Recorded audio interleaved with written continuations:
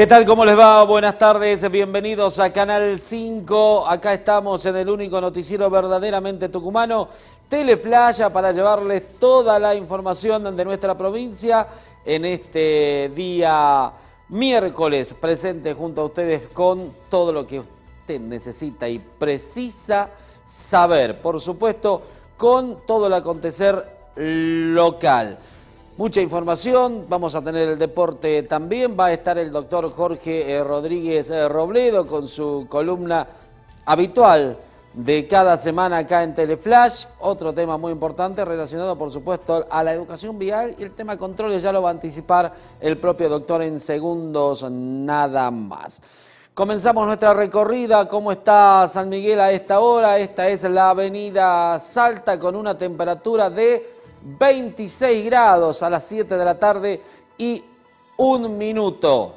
El paneo de las cámaras en un día, a ver, semiferiado, digamos, Día de los Fieles Difuntos, donde la actividad estuvo recortada en la administración pública, en, las escuelas por supuesto no hubo, el transporte también no fue el habitual eh, de cada día, circularon como días sábados, pero sí es intenso como estamos viendo ahora, el tránsito por la avenida Mate de Luna. Nos puede ver en YouTube, Canal 5 Tucumano también por la señal 28.3 de la televisión digital abierta. También estamos en cadena 305.7 para que esté informado junto a nosotros y por supuesto no le quede ningún detalle sin saber de lo que ocurre en la provincia de Tucumán. Zona del Monumento al Bicentenario, la regaron, parece ahí, Salió rápido la bicicleta sin el semáforo verde que lo habilitaba. Infracciones comunes que se cometen. Uno que está dando una vueltita en U. Ahí en la zona peatonal, digamos, donde tienen que cruzar los peatones. A observar al malabarista. Muy bien. Saludamos al doctor Jorge Rodríguez Robledo, que nos anticipa de lo que vamos a tratar hoy en su columna. Querido Daniel, ¿cómo estás? Al equipo, a la gente del otro lado que te sigue día a día, semana a semana para informarse. Eh, en este caso, hoy, haciendo cultura vial, inculcando, fomentando eh, esto tan importante que es cuidarnos entre todos al momento de salir a circular a la vía pública. Hoy vamos a hablar sobre la importancia e implicancia que tienen los operativos de control en la vía pública por el Estado. Muchas veces la gente se molesta, pero hoy vamos a hablar sobre la cuestión de fondo, lo importante que son los controles y nosotros particularmente nos tenemos que poner felices cuando encontramos a los órganos de control precisamente en la vía pública haciendo prevención, controles que tienden a generar mayor seguridad. Muy bien, perfecto, doctor. Ya lo vamos a ampliar en un rato nada más acá en Teleflash. Comenzamos el desarrollo de la información, pero acompañado de estas imágenes, porque así estaba Tucumán, la capital, en horas de la mañana de hoy. Ustedes saben que hoy eh, es el Día de los Fieles eh, Difuntos, un asueto administrativo también en las escuelas, y esto motivó que la actividad sea menor a cualquier día normal. Menos gente en las calles un poco menos de tránsito también, los bancos de la plaza en algunos sectores vacíos, imágenes elocuentes, esto es una escuela de lo que ha sido esta jornada donde muchos han optado, por supuesto, a ir a, a los distintos cementerios a llevarle una flor, a recordar a los seres queridos que lamentablemente ya no están con nosotros. Algunas tareas de limpieza, este es el monumento al Bicentenario. En la jornada de hoy, Plaza San Martín, donde se realizó el acto en homenaje a un nuevo aniversario de la institución de la Ciudadela. Poca compañía para las palomas de las plazas en la jornada de hoy, entonces la gente optó por quedarse, pero como decíamos recién también, se dirigieron a los distintos cementerios para eh, recordar, prender una vela, llevar una flor a quienes han partido de este eh, mundo. Nuestro compañero Álvaro estuvo en uno de los cementerios y hablo con la gente que le expresaba el significado de este día, si saben que se conmemora hoy o no. Hoy es un día, hoy es el día de los fieles difuntos. Eh, ¿Para usted es importante conmemorar esta fecha? Es importante porque a los que ya han partido a otra dimensión hay que recordarlos, hay que recordarlos porque son nuestras raíces. Entonces para mí es, es una fecha importante, sí. Todos los años usted este, suele ir a, a, al cementerio. Sí, sí, sí, sí, así es.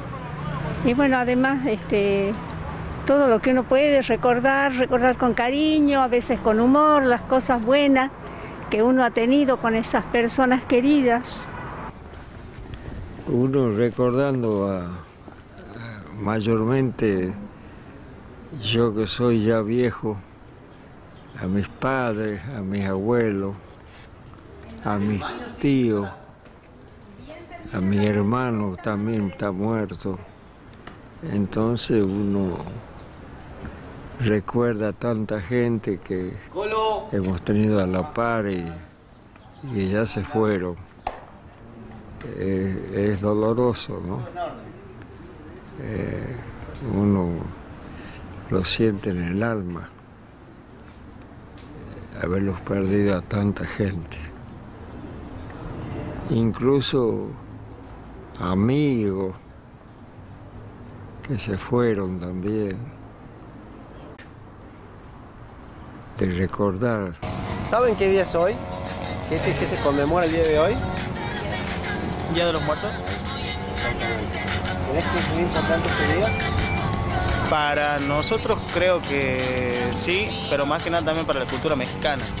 Ahí es donde más se vive esa fiesta, porque lo toman como una celebración. ¿Crees que es una costumbre que se está perdiendo? Mm, yo sinceramente no sé eh, cuánto es que se festeja acá, digamos, o sea, lo veo más en México que aquí, pero acá como que se está reavivando más y en México no, nunca se ha perdido y creo que va a seguir estando por mucho tiempo. ¿Por qué crees que es importante conmemorar el día de hoy? Y la verdad que eh, cada vez que una persona muere, la pena que los demás sienten no es con el que se fue, sino con el que queda. Porque lo que te queda a ti es la nostalgia, la melancolía, la desazón de, ya no tener más esa persona querida a tu lado. Así la hayas visto poco. Es un familiar, es alguien con quien compartiste horas, días de tu vida y que de pronto ya no está. Y el único modo como muchos encuentran un poco de paz ante esa, esa distancia que ya no se la puede arreglar, es recordarlos, visitándolos a donde están enterrados, eh, prendiendo una vela en su nombre. Creo que es para eso, para sentirlos que no se fueron totalmente, sino que están todavía con nosotros. Es lo que queremos sentir los que hemos quedado solos, por decirlo de algún modo. ¿Consideras que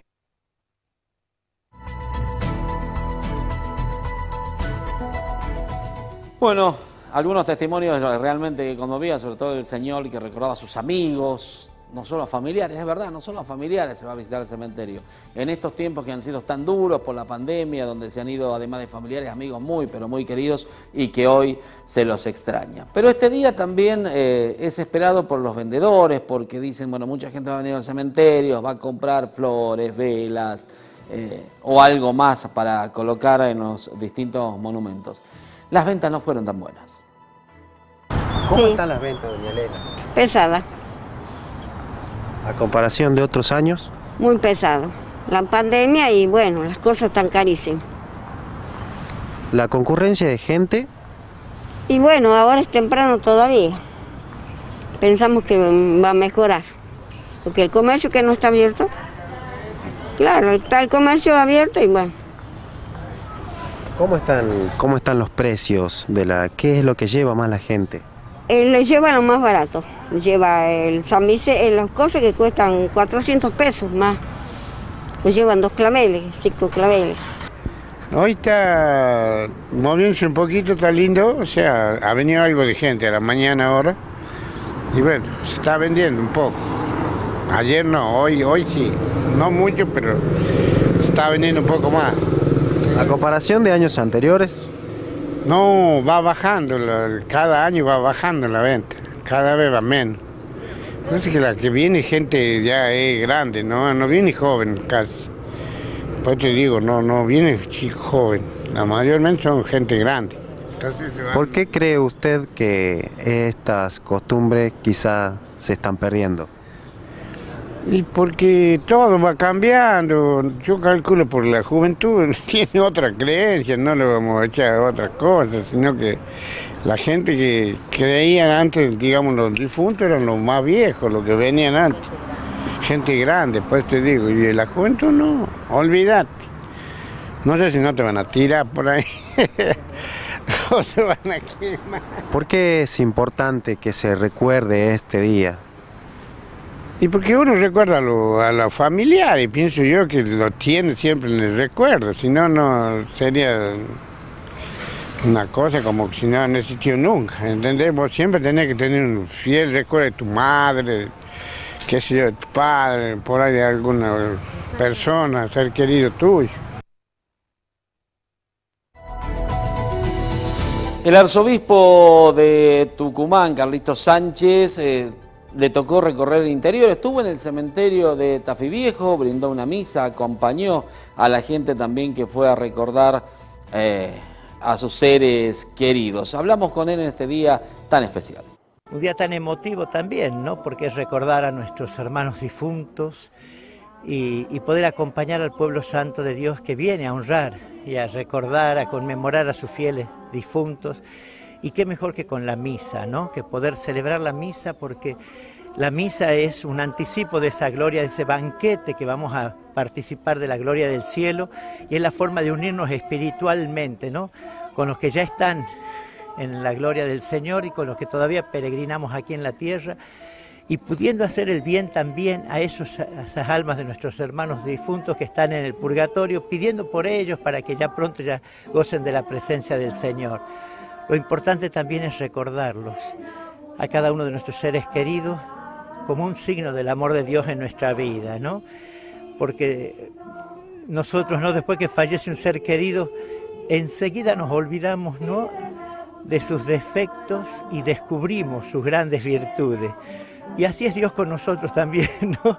Que podamos siempre recordar esas cosas bellas, esas cosas hermosas, esos signos de la ternura y de la misericordia de Dios que ellos nos han dejado en la vida. Porque eso es lo que el Señor seguro lo tiene en cuenta para hacerlos participar de su gloria. Porque defectos, miserias, pecados tenemos todos y el Señor siempre nos perdona. Que podamos vivir así también esta celebración ¿no? de la conmemoración de los fieles difuntos. Monseñor, aprovechamos también para pedirle la bendición para los televidentes. Que el Señor los llene de su gracia, de su amor y de su paz, que sigamos caminando juntos como iglesia para anunciar la alegría del Evangelio, aún en medio de las dificultades, con la certeza que nos da la fe de que Jesús es nuestro único redentor. Que la bendición de Dios Todopoderoso, Padre, Hijo y Espíritu Santo, descienda sobre todos ustedes, su familia y permanezca para siempre. Amén. Muchas gracias. Dios los bendiga y la Virgen los proteja. El arzobispo Carlos Sánchez entonces en el cementerio de Tafí Viejo. Pero este día también motivó algunos movimientos, algunos operativos para que todo se desarrolle con normalidad. ¿Qué fue lo que pasó? Estamos en, colaboración de la gente, de la prevención, por alguna, alguna persona que se puede decompensar. Trabajamos conjuntamente con la, con la ambulancia, viene a ser 107, que ellos asisten inmediatamente cuando uno eh, pre- disculpe, eh, requiere su, su presencia. Y trabajamos conjuntamente también con el asunto de inseguridad con la, con la chica acá de la PPC. Eh, estamos viendo mucha afluencia de gente, ¿no? Teniendo el día particular. Sí, sí, sí, muchísima gente. Pero dentro de todo, se, está en normalidad estamos, estamos bien. Estamos, estamos bien, estamos bien. Gente de la dirección de tránsito también reorganizando el tránsito, que Sí, está muy sí. fluido. Está muy fluido. Sí, ellos hacen corte, por ejemplo, acá, cuando hay aglomeración de gente para cruzar la avenida. Claro, están colaborando. con Sí. Bien. Eh, dentro del cementerio, ¿cómo, cómo- cómo se dan las visitas? Digo, ¿tienen esa información? Sí. Está abierto todo el día. Sí, señorita. Está abierto todo el día, hasta las 6 de la tarde, hora recorrido. Sí. Y bueno, eh, acá la gente pasa caminando, pero por el otro lado del patio pasan la gente solamente con discapacidad reducida o discapacidad con el carnet correspondiente. Colaboran en eso, tienen un, un lugar especial. Están mis compañeros también ahí colaborando en lo que es la entrada de vehículos y salida. Eh, la patrulla de protección ciudadana, digo, cómo se ha distribuido en el trabajo. Y ahora tenemos turnos rotativos, vamos a estar presentes hasta el- de la entrada, hasta el cierre del cementerio, en las dos entradas, tanto acá como en el, el patio del jardín. Ninguna situación rara, ningún hecho de inseguridad. Eh, acá lo que es dentro del cementerio no, pero sí tuvimos temprano un altercado con una persona en- de sexo masculino, eh, bueno, que dio intervención, colaborando con la policía también, ya se lo redujo y se lo llevó detenido. ¿Qué, qué presentaba esta persona que estaba alcoholizada? Eh, eh, está alcoholizada, drogada y bueno, estuvo un altercado con un trapito de la cuadra que la intentó abusar eh, con las manos. ¿Cómo hicieron ustedes inmediatamente? Eh, ¿Reaccionaron? sí, inme- inmediatamente, sí, en colaboración con mis compañeros y lo reducimos y bueno, vino el policía, personal del 911, lo redujo y lo llevaron detenido a la comisaría quinta. Muy bien, momento de presentar al doctor Jorge Rodríguez Robledo acá en Teleplaya. Doctor, ¿cómo le va? Buenas tardes. Muy bien, el gusto de estar acá compartiendo con vos, con todo el equipo. Y la verdad que para hablar de un tema que es importante y del cual tenemos que tomar conciencia, particularmente, ¿qué es lo que genera seguridad en nuestra sociedad? ¿no? Remitiéndonos a esto específico de lo cual eh, tratamos siempre como es la educación y seguridad vial, ¿no? Pilares fundamentales, por un lado, la educación, que tiene que estar presente y que se tiene que inculcar en todos los niveles de enseñanza, como establece el artículo 9 de la Ley Nacional 24449, modificada por la 26363, a la cual Tucumán tiene una adhesión parcial. Por otro lado, a los controles preventivos, ¿no? Y cuando hablamos de controles preventivos, puntualmente hacemos referencia a esa tarea que tiene el Estado, ¿no? Estado municipal, provincial, en donde se debe trabajar de manera seria e inequívoca en una política de Estado tendiente a generar seguridad en el tránsito. Hoy nosotros necesitamos realmente de una decisión política que lleve adelante a que las fuerzas de seguridad, los distintos órganos de control, sean municipales o provinciales, tengan una participación activa en la vía pública, no tan solo los fines de semana, en el horario nocturno, por la salida de distintos eventos que tiene la gente, sino tiene que ser un control permanente, continuo en distintos puntos de la geografía de nuestra provincia para darnos seguridad a nosotros, los usuarios del espacio público, los vecinos de Tucumán. Y en este sentido encontrar un operativo de control nos tiene que dar tranquilidad, nos tiene que brindar a nosotros seguridad, porque el Estado, cumpliendo su rol, debe velar por los intereses colectivos de la sociedad. Los operativos de control son precisamente para verificar quién conduce los distintos tipos de rodados, si cumplen con las medidas de seguridad, en el caso de la moto, la utilización del casco protector, los espejos retrovisores, el no trasladar más de un acompañante y que no sea menor de 12 años, en lo que respecta a los vehículos, la utilización de las luces bajas, las luces diurnas, el uso del cinturón, el no manipular un teléfono celular a la hora de tomar la conducción, respetar los índices de velocidad, la senda peatonal. En este sentido, tenemos que tener certeza de que los órganos de control van a velar para que existan y se cumplan con las medidas de seguridad. Y así también con la documentación necesaria que tiene que tener cada conductor de vehículo, Daniel. Esto es fundamental. Siempre la documentación, primero la habilitación, la licencia de conducir. En, en- en- otro orden de cosas, la verificación técnica vehicular, que es importantísimo.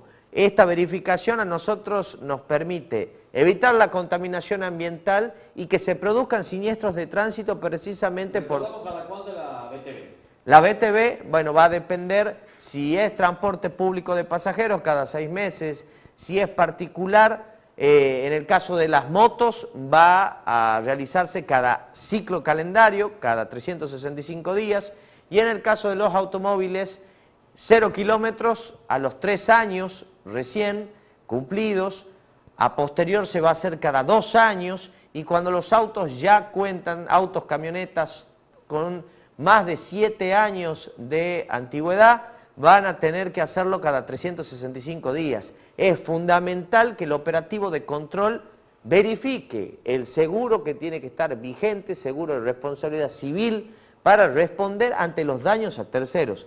Fundamental es encontrar los controles preventivos, porque los controles, la presencia del Estado, persuade al infractor, persuade a bajar la velocidad, a respetar la luz indicadora del semáforo. Lamentablemente en Tucumán nosotros somos hijos del rigor y necesitamos del Estado para respetar las normas de tránsito. Por eso, cada vez que encontramos un operativo de control, hay que alentar para que se tenga continuidad y realmente sean efectivos en el tiempo, haciendo una tarea de prevención. Acá un Estado eh, municipal, por ejemplo, que se jacte de labrar gran cantidad de actas de infracción, es un Estado municipal y una dirección de tránsito y vía pública que no está cumpliendo con su rol, no está cumpliendo con cuidar al vecino, a los ciudadanos, porque cuando vos generás una caja recaudatoria, recaudatoria por parte del Estado ante la inobservancia de las normas de tránsito, estás demostrando como Estado, Estado municipal, que no te importa el vecino, que no te importa el ciudadano, que no te importan los tucumanos, sino tan solo acrecentar las arcas del Estado municipal y no trabajar precisamente haciendo prevención, concientizando a la gente de cómo Daniel tiene que circular en la vía pública, ¿no? Seguro que sí, es importante toda medida de control, aunque a veces te genera mucha demora y... Eh, eh, dejan formar a veces policías que controlan, Jorgito, unas largas filas. Eh, me pasa la mañana que a veces venís a trabajar y perdes 10, 15 minutos en la rotonda de San Cayetano en, en un operativo.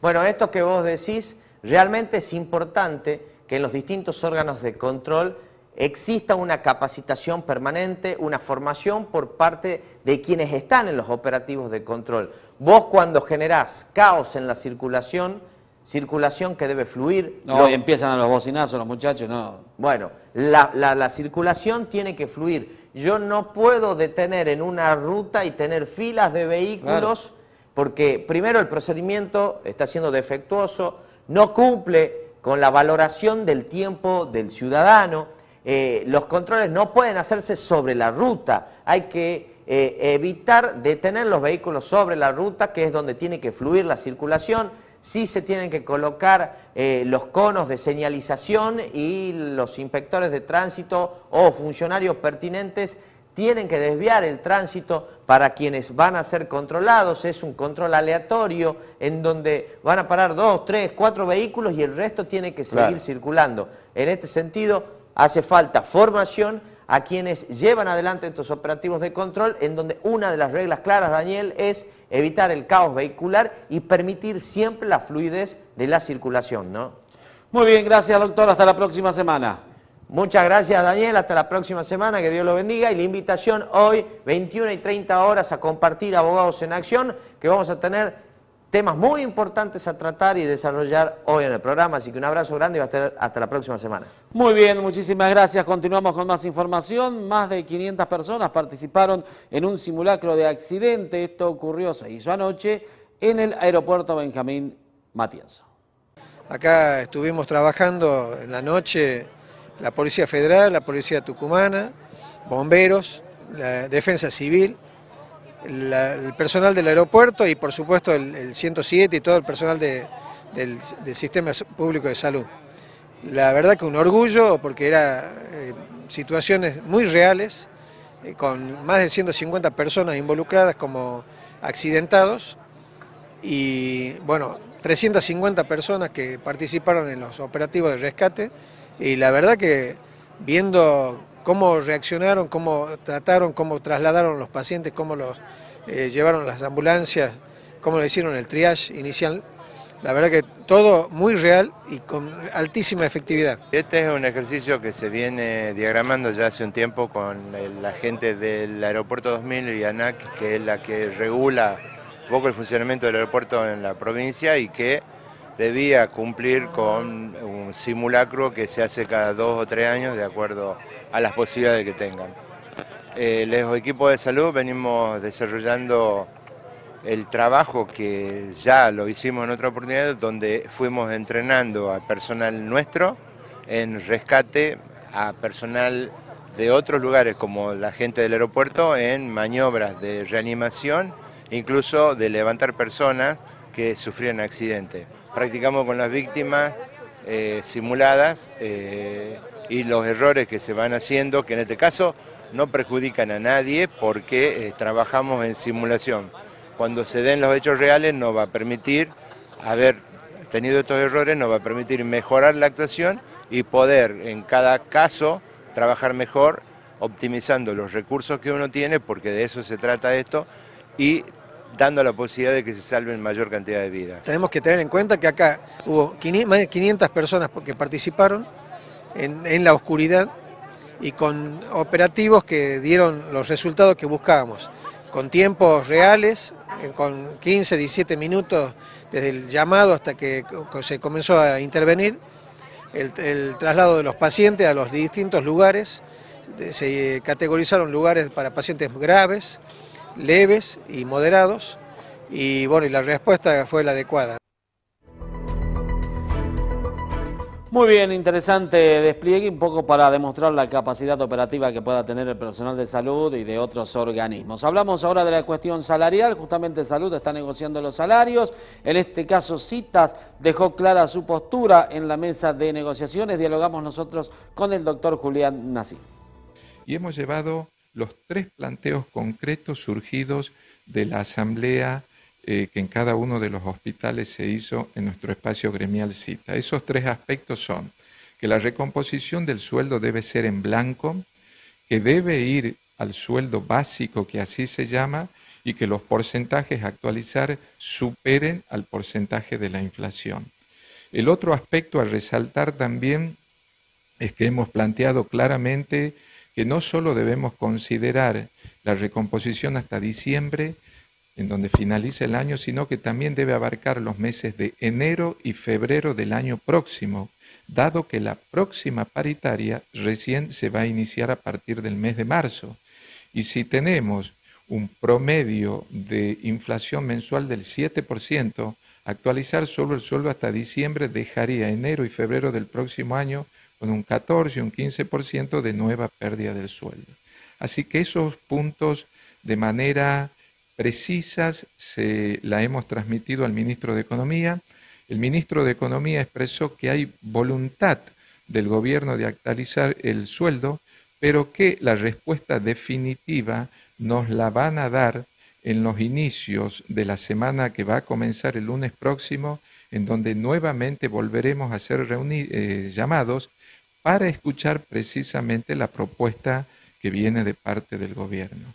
Hemos hecho conocer de eh, que esto no se puede dilatar más y que nuestras asambleas han mandatado a nuestro espacio gremial de citas de que si no hay una respuesta acorde a la situación que vivimos, la posibilidad de las medidas de fuerza surgen como una cuestión real. ¿Qué es lo que sucede, doctor, con el acta acuerdo? ¿Se viene respetando los ítems a tratar? Por ejemplo, en ATSA mencionaron de que no se estaba respetando esta, esta acta acuerdo. El acta acuerdo firmada en el mes de marzo tiene una serie de puntos incumplidos. Uno de los puntos incumplidos y sobre el cual también en una reunión previa llevada a cabo con el ministro de Salud lo hemos planteado es aquello que tiene que ver con el envío a la legislatura provincial de un proyecto para modificar la ley de carrera sanitaria. Eso debía haber sucedido dentro de los 120 días a partir de marzo hasta el día de hoy no ha ocurrido y es uno de los aspectos incumplidos. El otro es el que tiene que ver con la solicitud hecha por citas para la gestión de un boleto sanitario, es decir, quienes trabajan en salud y se desplazan para trabajar puedan, ¿no es cierto?, eh, ser beneficiados con el boleto gratuito. También el ítem zona, que implica un reconocimiento a los gastos que implica el personal trasladarse al interior de la provincia. Hasta acá está parcialmente eh, llevado a cabo y estamos pidiendo que se aplique en su totalidad, es decir, que alcance al 100% del personal de salud que viaja para trabajar.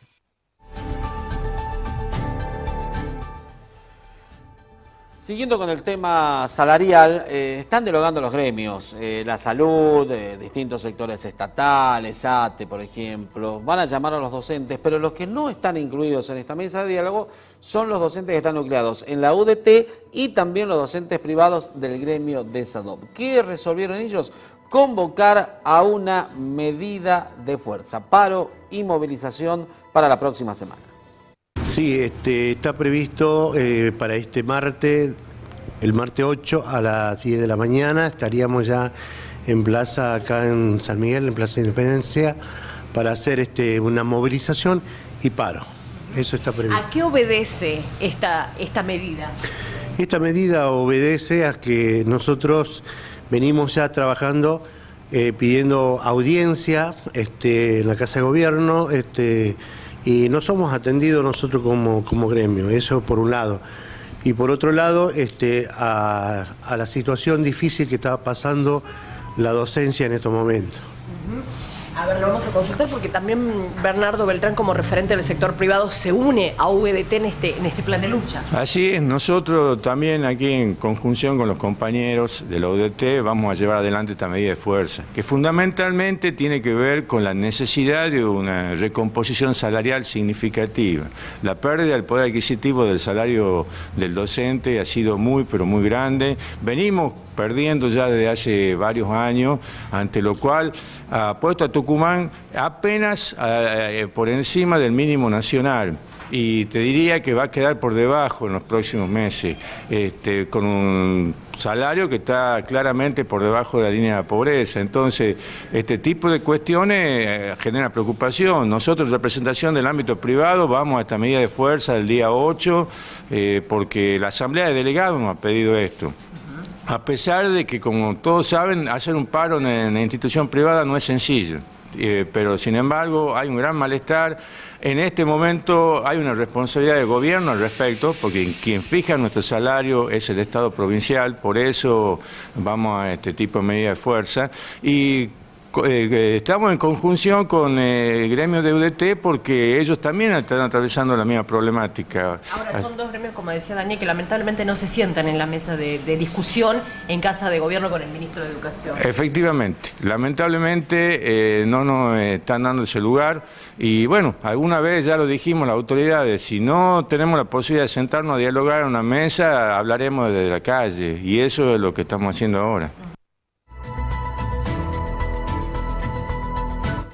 Hablamos del salario de los choferes del transporte público, el cual va a ser abonado este viernes, así lo aseguró el empresario Jorge Berreta. Además, van a cobrar también un bono de 15 mil pesos. Pero ¿cómo se paga esto? Con ayuda del gobierno y también endeudando, eh, dijo Berreta, ya que van a cambiar cheques en las financieras. Con el apoyo de la provincia y, el endeudamiento de las empresas por este compromiso que, que constantemente eh, honramos, eh, vamos a pagar los salarios más 15 mil pesos de un bono el día viernes. Ante el incumplimiento de la nación, las empresas van a tener que salir a descontar o negociar cheques en las financieras y bancos. Eh, esto produce más endeudamiento, pero priorizamos la paz social.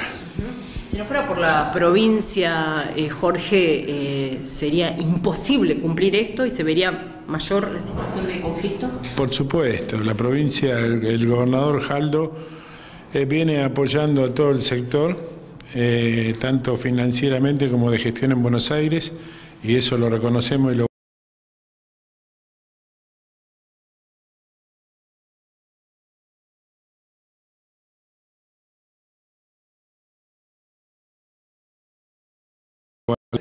eh, tanto en la, en la, distribución como en el cumplimiento de las fechas pautadas, de las compensaciones tarifarias nacionales. Ahora, estas compensaciones, eh, hasta tanto lleguen el año que viene como corresponde, ¿qué se hace? Digo, ¿hasta cuándo está garantizado el cumplimiento en tiempo y forma con las obligaciones que ustedes tienen?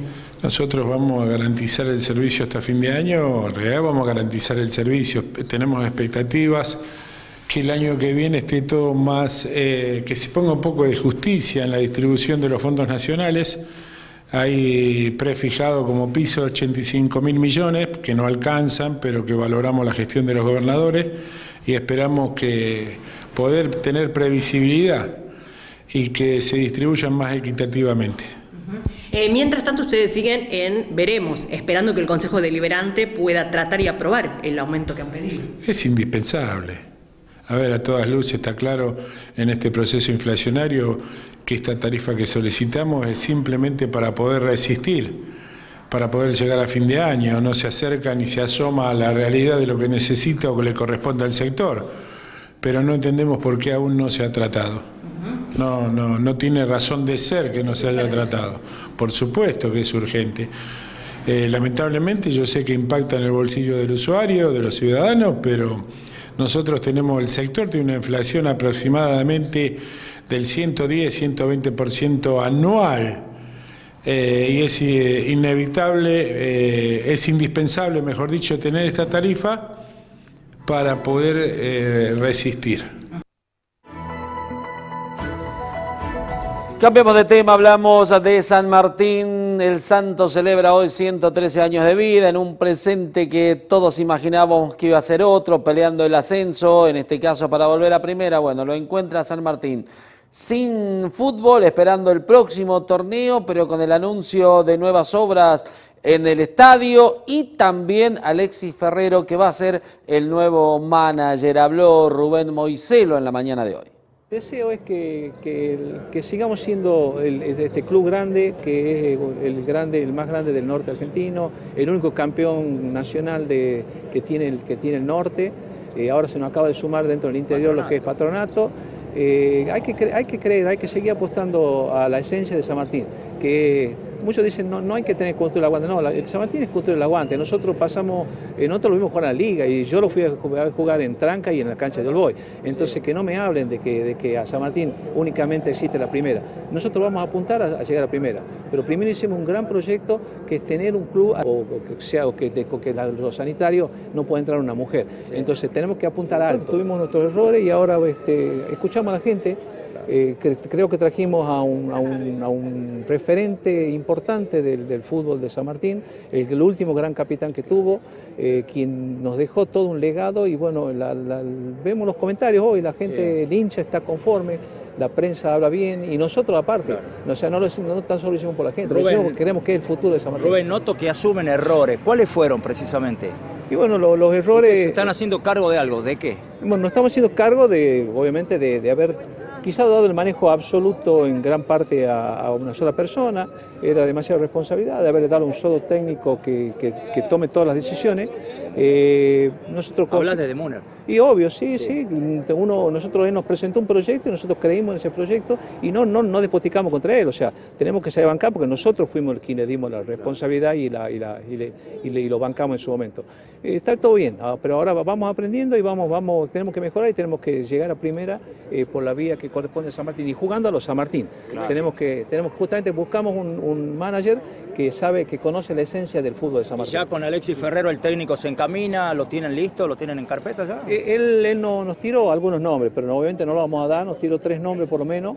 Eh, primero él va a hablar con, con, cada uno de ellos para ver qué es lo que propone, él los conoce, eh, está muy, muy, muy, muy imbuido de lo que pasa en San Martín, él los venía a ver muchos partidos cuando jugábamos de local, también iba a partidos este, cuando jugaba en Buenos Aires, porque él estaba en Buenos Aires, entonces es alguien que, que con, vos le a cualquier jugador y sabe exactamente tanto de lo que se fueron como lo que quedaron, conoce perfectamente las características y si es para San Martín o no. ¿La decisión, la, decisión final la toma Alexis, la toman ustedes? No, siempre la decisión final la tiene que tomar la directiva.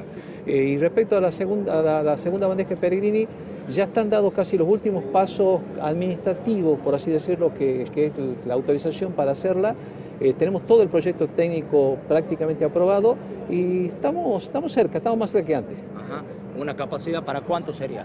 Mira, el, plan, el plan original eh, la dividamos en tres. La parte central sería en platea, los dos laterales serían populares y abajo irían este, palcos.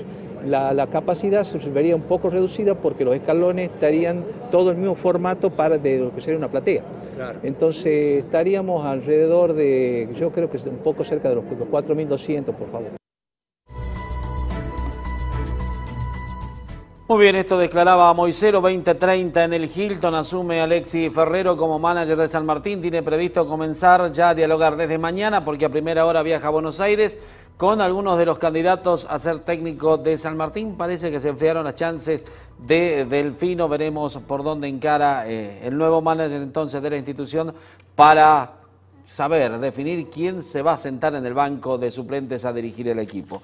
Cambiamos de tema, eh, un caso que conmocionó a los ralos, una mujer policía tomó una horrible, drástica decisión, vaya uno a saber qué la motivó, seguramente serios inconvenientes eh, familiares o psíquicos, mató a su hijo, luego intentó suicidarse, tiene disparos en el abdomen, está en grave estado. Nosotros dialogamos con la doctora María Marta Vargas, habló sobre el estado de salud de Manuela Medina. Ahora para ingresar a la policía, eh, exámenes psíquicos no te hacen, no evalúan ciertas características de la personalidad de quién va a portar un arma, de quién va a estar eh, destinado a proteger al ciudadano?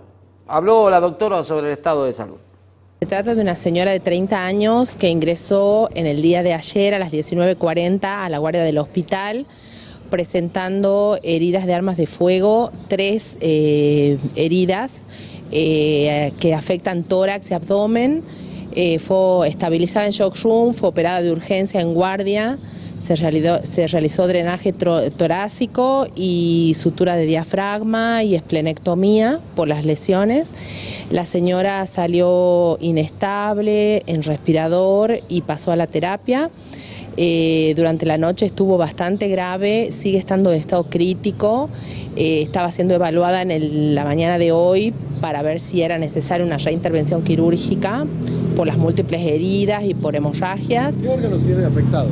Eh, bueno, se, hizo la extracción del vaso porque estaba con una rotura de vaso, se suturó el diafragma, que estaba también lesionado, y quedó con un tubo de drenaje en el pulmón y no sabemos si eh, hubo más lesiones de vísceras huecas porque en el momento de la cirugía de urgencia se hace, lo que más se ve es lo que se soluciona, pero a veces pueden quedar heridas que no se lleguen a visualizar por la sangre que hay en la cavidad.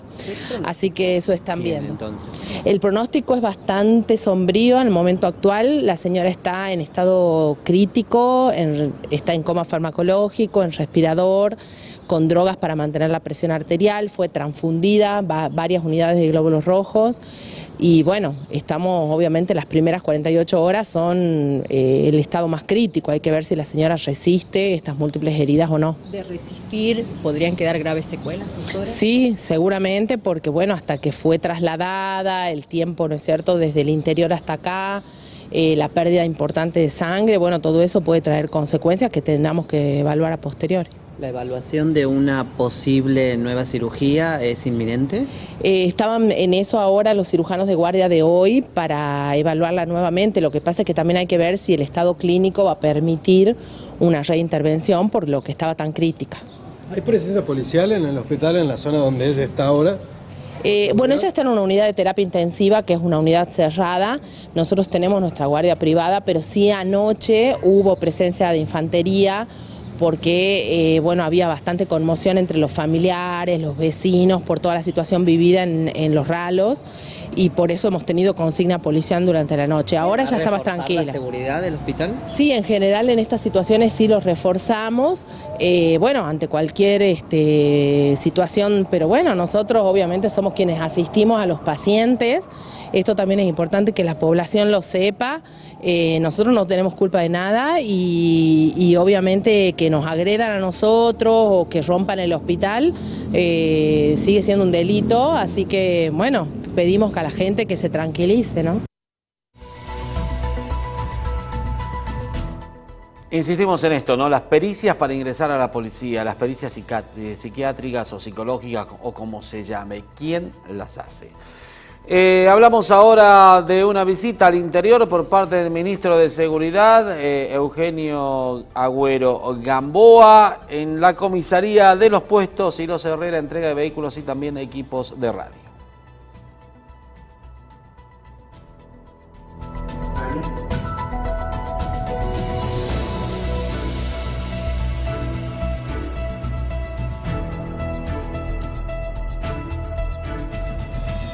Entregó equipos de radio y vehículos en los puestos, pero también hay que destacar los operativos que se han realizado en las últimas horas, nueve allanamientos con dos detenidos, además secuestraron elementos provenientes de hechos delictivos. Eh, en horas de la madrugada eh, comenzamos con diversas medidas de allanamiento a raíz de una investigación realizada por una denuncia de una persona residente en el Cadillal, en la cual eh, tres sujetos ingresaron a su domicilio y a punta de pistola eh, le robaron su camioneta, electrodoméstico y varios elementos más de su propiedad. Ya ha tomado conocimiento la comisaría del Cadillal conjuntamente con la comisaría de Los Positos realizaron las investigaciones que fueron altamente exitosas.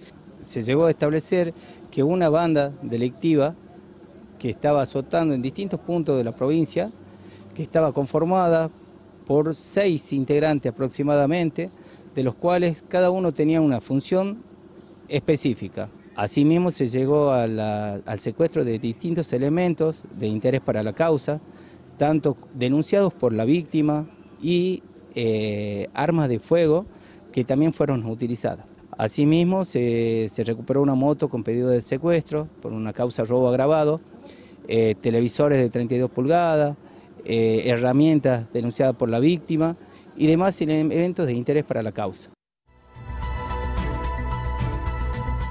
Muy bien, no tenemos tiempo para más. Hasta acá llegamos. Acá me preguntaban algunos compañeros con quién va a hablar eh, Ferrero, con qué técnico para San Martín. Delfino sigue siendo una opción, aunque a lo mejor no tan fuerte como antes. El otro sería el huevo Sergio Rondina, otro de los candidatos a ocupar el banco de San Martín. Los dos vienen a dirigir en primera, a los dos no le fue bien, tanto a Delfino en Patronato como a Rondina, primero en Central Córdoba y después el paso por Colón que fue lamentable. Veremos qué decide la dirigencia de San Martín. Punto final, los esperamos mañana a las 7 de la tarde por Canal 5. Buenas noches.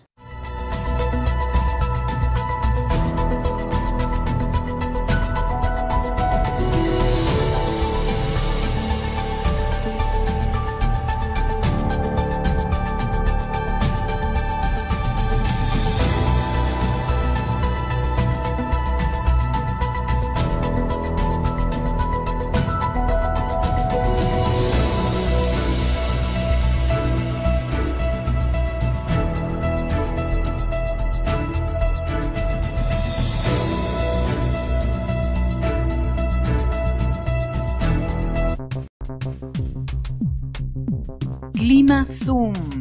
Pronóstico del tiempo para Tucumán.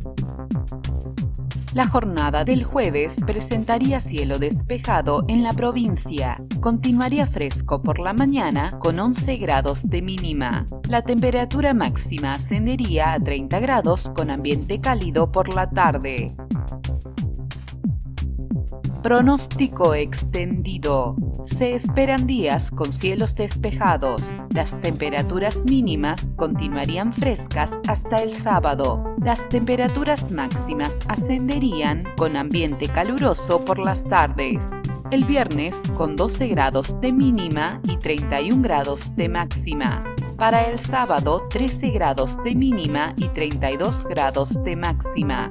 Para el domingo se espera ascenso de la temperatura mínima con 16 grados. La temperatura máxima marcaría 33 grados. Estamos haciendo ingresar a la fuerza casi 800 policías que van a cumplir diferentes funciones, nos van a permitir multiplicar los policías que ya tenemos en la calle, nos van a permitir atender con más profundidad los diferentes tipos de delitos. Y esto tiene como objetivo principal traer más seguridad y más tranquilidad a los tucumanos que muchas veces con justa razón nos están pidiendo. Gobierno de Tucumán, gobernador. Queridos amigos y amigas de Tucumán, soy Roque Narvaja y estoy aquí para invitarlos el 12 de noviembre a las 21 horas al Teatro Mercedes Sosa. Estoy feliz por este reencuentro. Allí vamos a recordar todas las canciones que no sabemos, más las nuevas, porque tenemos disco nuevo también. Hasta ese momento les mando un beso muy grande y no se olviden, 21 horas 12 de noviembre, Teatro Mercedes Sosa. En todo living te ofrecemos confort, estilo y calidad. Somos una fábrica 100% tucumana con más de 20 años de experiencia en fabricación de juegos de living. Nos adaptamos a tus necesidades con el mejor asesoramiento y el mejor precio. Seguinos en nuestras redes sociales como todoliving.tucumán. Todo living, confort, estilo y calidad. La mejor comida casera y saludable está en Inti. Menúes artesanales para disfrutar diariamente. También podrás encontrar en Celi Inti los mejores platos salados y dulces aptos para celíacos, elaborados en su propia cocina libre de gluten. Te esperamos en Monteagudo 420. Llámanos al 431 4087 o haz tu pedido por WhatsApp al 155 85 53 98. Seco le dedicó a la mejor hinchada del mundo una colección de vasos increíble. Con dos tapitas blancas más 220 pesos, llévate uno de los seis motivos para alentar a la selección. Completa tu juego e invita a todos tus amigos a brindar por Argentina. Con Seco, la pasión mundial se comparte. Para reforzar la ley de narcomenudeo, le vamos a ir dando herramientas necesarias para que solucionen un problema que nos, nos aflige a todos, como es el tema del, del narcomenudeo. La idea de, de quienes están en la comisión de narcomenudeo es que se haga en el menor tiempo posible, se está trabajando en ese sentido. Las fuerzas federales con las fuerzas provinciales, inclusive este, lo- los operativos que se vienen haciendo están dando mejor resultado. Y en Tucumán eh, queremos estar a la altura para, para brindar eh, el mejor trato posible a este tema que nos aflige a todos. Famaillá, capital nacional de la empanada, cambiando para convertirla en la ciudad más bonita y más querida. Mejor que decir es hacer y lo estamos haciendo. Plan integral de urbanización. Visite Famaillá. Los esperamos con el corazón. Intendencia, doctor José Orellana. Gobernador Osvaldo Jaldo. ¿Estás buscando ese delicado equilibrio entre disfrutar lo que te gusta y cuidarte? Eso es BioBalance, un agua saborizada muy refrescante, deliciosamente baja en calorías. BioBalance, encontraste tu equilibrio. Calidad seco. Creo que el Estado no puede estar ausente de lo que significa la tecnología, de lo que significa la programación, eh, e incluso el propio municipio eh, lo necesita en alguna de sus áreas. Es por eso que nos hemos comprometido, en este caso con 300 becas eh, para programadores con esta empresa y 200 otras becas para otros programadores con Rolling Co. Y es una salida laboral, ya sea en forma inmediata para algunos y en forma mediata para otros. Municipalidad de San Miguel de Tucumán, ciudad de todos. Intendente Germán Alfaro. En todo living te ofrecemos confort, estilo y calidad. Somos una fábrica 100% tucumana con más de 20 años de experiencia en fabricación de juegos de living. Nos adaptamos a tus necesidades con el mejor asesoramiento y el mejor precio. Seguinos en nuestras redes sociales como todoliving.tucumán. Todo living, confort, estilo y calidad. Queridos amigos y amigas de Tucumán, soy Roque Narvaja y estoy aquí para invitarlos el 12 de noviembre a las 21 horas al Teatro Mercedes Sosa. Estoy feliz por este reencuentro. Allí vamos a recordar todas las canciones que no sabemos, más las nuevas, porque tenemos disco nuevo también. Hasta ese momento les mando un beso muy grande y no se olviden, 21 horas 12 de noviembre, Teatro Mercedes Sosa.